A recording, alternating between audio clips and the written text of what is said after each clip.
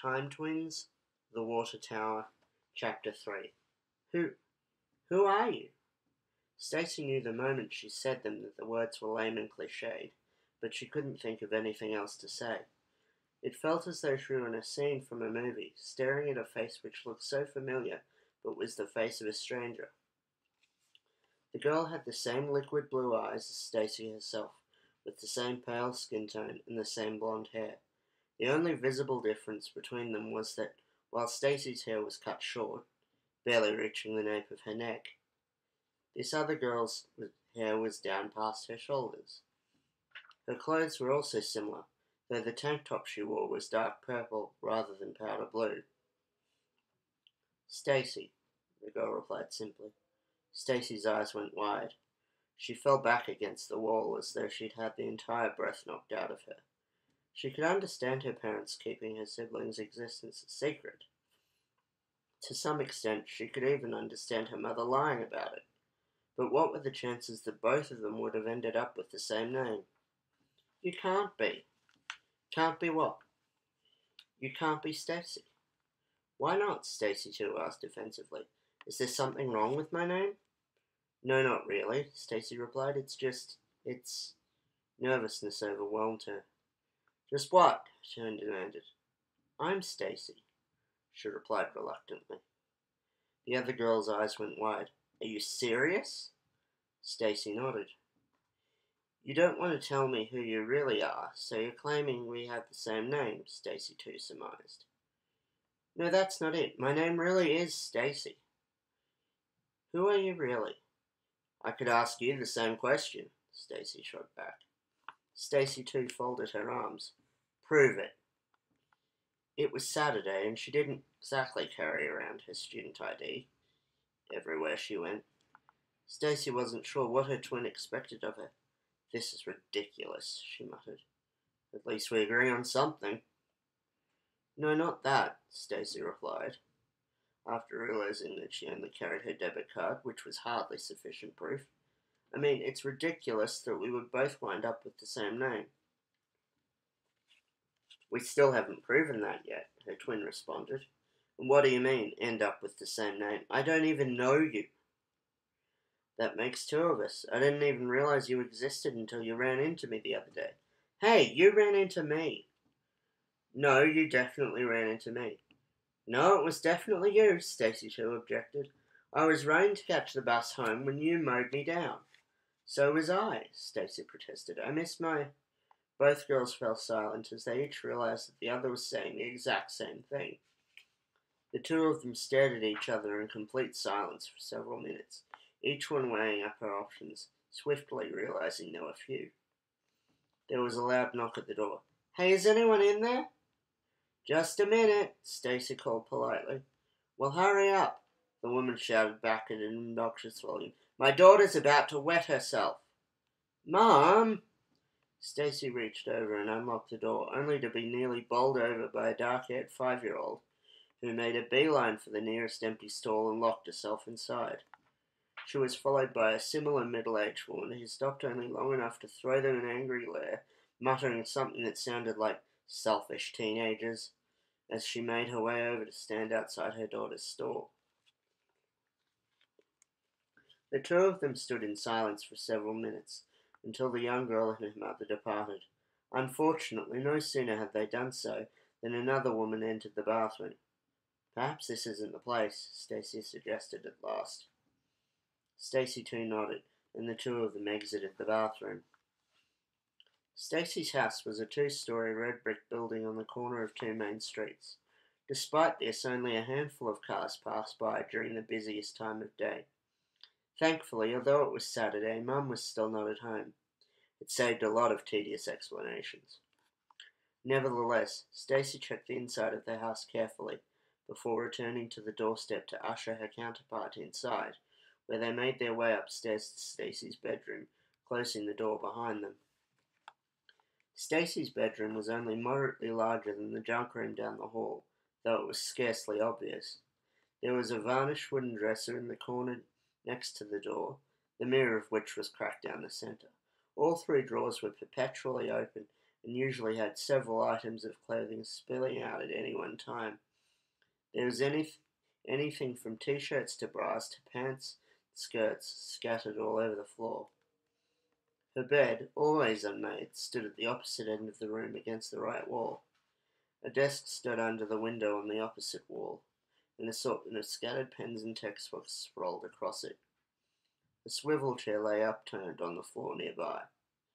As they entered the room, Stacey righted the chair, offering it to her counterpart before throwing herself upon the bed, burying her face in her pillow. So what do you think is going on? Stacey too asked suddenly. Stacey sat up, regarding her counterpart with eyes that were exact same shade of blue. I think our parents secretly raised us in separate parts of the country without telling either one of us about the other's existence. You know, like in the Parent Trap? Which one? The one with Hayley Mills or the one with loser? Excuse me, Lindsay Lohan. the two girls giggled hysterically. Who cares? Stacey replied, trying to control her laughter. It's the same movie.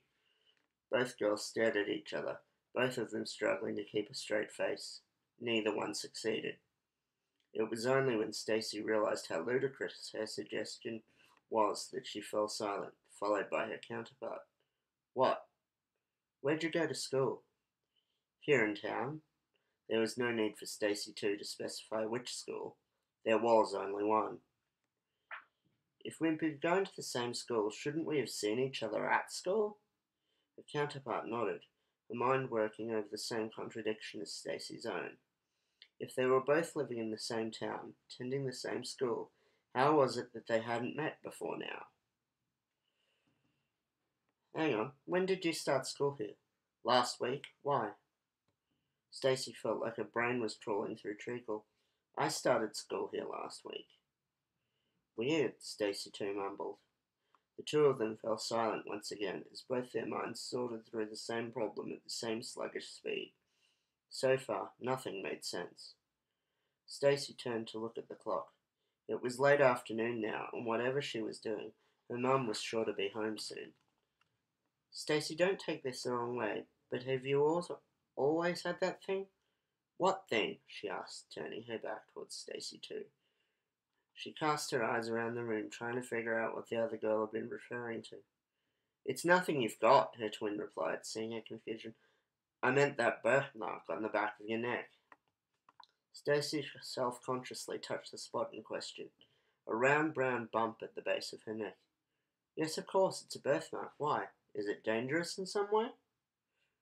Stacey too shook her head. Not that I know of. It's just. Rising from the chair, she turned her back towards Stacey, pushing aside her long blonde hair like a pale curtain to reveal a small brown birthmark at the base of her own neck. Stacey walked over to her counterpart, tracing the contours with her finger. The spot was the same size, the same shape, and the same color. Even the texture, raised and slightly bumpy, was completely identical to her own. She shivered as a chill ran through her bones. Whoa, that's creepy. I know, right? Stacey too agreed as she tossed her hair sedately back into place. There was a knock at the door. Stacey, are you in there? It's Mum, Stacey whispered urgently. She doesn't know you're here. What do I do? Hide! Stacey, who are you talking to? Stacey too threw herself behind the bed, almost taking the doona cover with her, just as Stacey unlocked the door. Is there someone in here with you? Mum asked, casting her eyes suspiciously around the room. No, Stacey lied carefully. Just me. Are you sure? Mum pressed. Stacey followed her mother's eyes nervously. For an instant she thought she saw her twin's hand sitting on the bed, but thankfully it vanished before Mum spotted it. There's no one here but me, she said, breathing a secret sigh of relief. Mum smiled a secretive smile, the kind that said, I know you're hiding a boy in your room. But Stacey changed the subject before she could take it any further. Where have you been all day, anyway? I'm sorry I didn't tell you, honey. Just as I was coming from the hairdresser, I ran into an old high school friend, and we went up for coffee. But then coffee turned to lunch. You know how it is.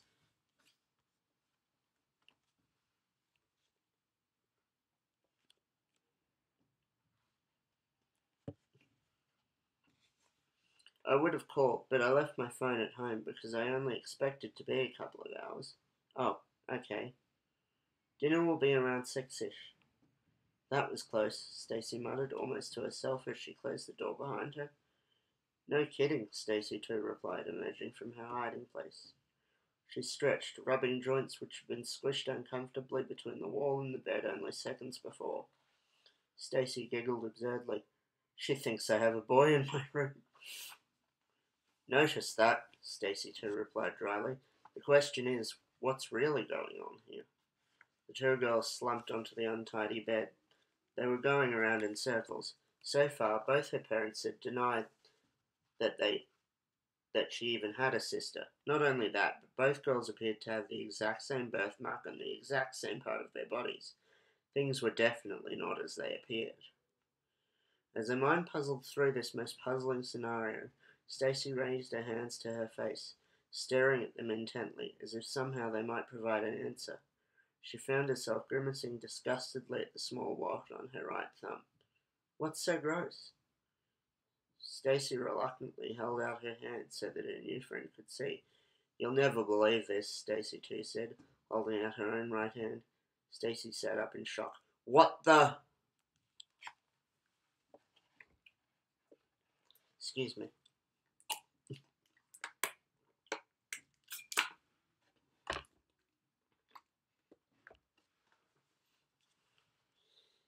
How much do you know about identical twins? Abigail shrugged. They're identical? It was Monday afternoon, and as usual, Stacey and Abigail were sitting under the shade of that large tree on the opposite side of the oval.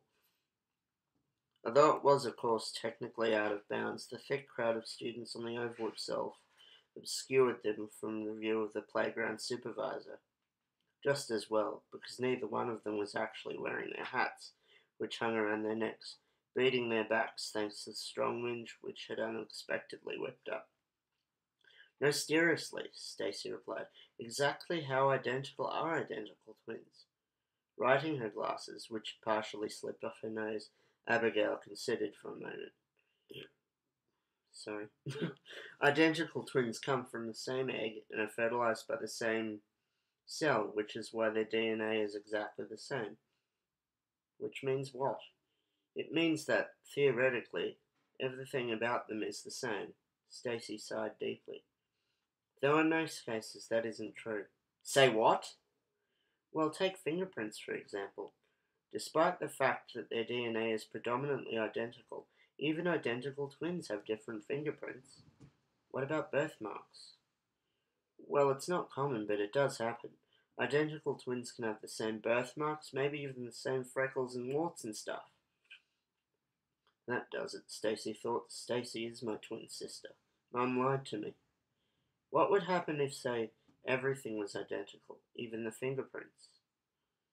Abigail shook her head. That's impossible. That would never happen. Stacey looked at Abigail in disbelief. She and her twin had spent most of Saturday night and a large portion of Sunday checking everything they could think of.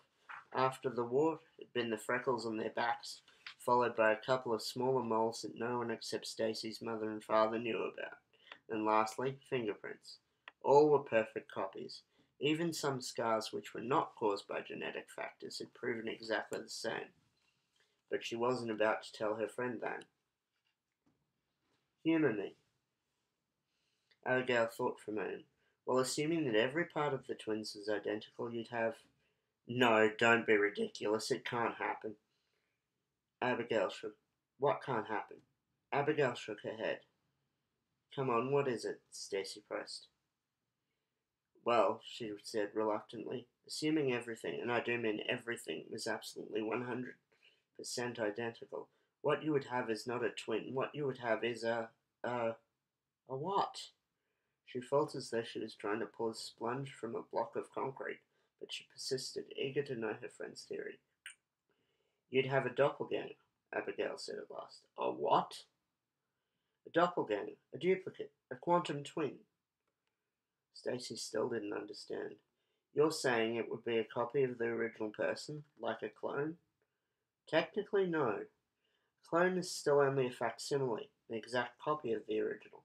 A doppelganger is no more a copy than you are. You would both be you. So, in other words, she's me. I mean, she would be me, right? Just as much as you are, Abigail confirmed. How totally weird. Yes, isn't it? It's a good thing stuff like that can't happen in real life. That's what you think, Stacey thought. Outwardly, she said, Why not? I mean, what's to say it can't? Scientists have theorized the existence of parallel universes, but they've never been able to prove it. What's that got to do with anything? Well, if such a person did exist, you, I mean she, I mean your twin, if such a person did exist, she would have to inhabit a universe parallel to our own. If such a place did exist, she certainly wouldn't be able to come here. Why not? Before Abigail could say another word, the bell rang. Almost instantly, the playground and the oval became the schoolyard equivalent to a ghost town. We'd better get to class, she said, rising from her seat. Eager for the answer, Stacey snagged the hem of her dress. Why couldn't she come here? Stacey, please, we've got to get to class. Why, Abby? Why couldn't my twin come here? What's to stop her from leaving her universe and coming to ours? Knowing she wouldn't get away unless she answered the question, Abigail relented. She wouldn't be able to enter our universe without a wormhole, which would require an enormous amount of energy, or else an area of extreme powerful convergence that could conceivably open said gateway. Having been given the answer she thought sought, sorry, Stacey released Abigail, who scuttled hurriedly to class. Stacey herself continued to sit there until long after the second bell had sounded, staring into the sky. Was that the great secret? Was that why no one else seemed to know of Stacey Two's existence? Was she not, as Stacey had assumed, her identical twin, but instead a doppelganger from a parallel reality? Abigail's answer to her question seemed to have raised even more than it had answered, making Stacey wish for the day's end so that she could get home and share her findings with her the uh, Stacey. Excuse me again.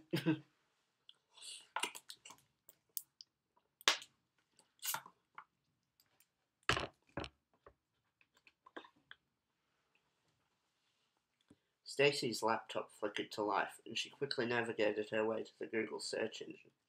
Her fingers paused over the keyboard. What should I search for? Chase thought hard. How about Parallel universes, she suggested. Stacey quickly typed the search and hit enter. As usual, when she had returned home, her mother had still been at work. It had been hard enough keeping Chase's existence from her mother over the weekend, let alone now that Stacey was back at school. The first thing she had done upon arriving home was to go upstairs and tell Chase about her friend's theory. Now the two of them were hunkered over Stacey's laptop, digging through the internet for any information which would either confirm or refute Abigail's theory. Both girls found themselves face to face with a page full of articles on the subject. According to Google, there were more than 8 million results. We can't search all that, Stacey murmured hopelessly. Try parallel universe theories, Chase suggested. Stacey bent over the keyboard, punched the search into the box. Both girls took a deep breath before she hit enter. Less than half a second later, 8 million results had been reduced to 687,000. That's more like it. After several seconds of silent contemplation, she clicked on what seemed to be the simplest option, labeled Parallel Universes for Dummies. Several more seconds of silence followed. There, Chase said at last, pointing at a section of the article labeled Level 3. Stacey read through the paragraph carefully. According to its author, the theory went that every decision we make causes a new self to form, continuing to live his or her life totally oblivious to the presence of its other selves in thousands of other realities. Also, according to the author, these universes continually interact, but remain unaware of each other's existence.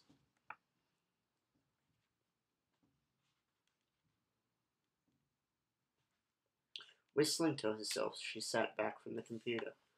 So Abigail was right. Chase stretched herself out on the bed. Not entirely. According to that article, one of us shouldn't be here. According to Abigail, one of us shouldn't be here, Stacey reminded her. The two of them sat there for a long moment, each staring into the same blue eyes. The question hung between them, still searching desperately for its answer. That's got to be more. There's got to be more to this, they both said at the same time. Stacey turned back to the computer, ready to begin the search anew. At that particular moment, the phone rang. I'll get it, Chase volunteered. Hold up, no one knows you exist, remember? Oh, yeah. She flopped back down onto the bed. Why don't you check and see what else you can find in the meantime, Stacey suggested. Climbing from the bed, Chase settled herself in front of the computer, her eyes drifting over the page. Satisfied that her counterpart would be okay, Stacey turned to catch the phone before it rang out. Before she could leave the room, however, she froze in place.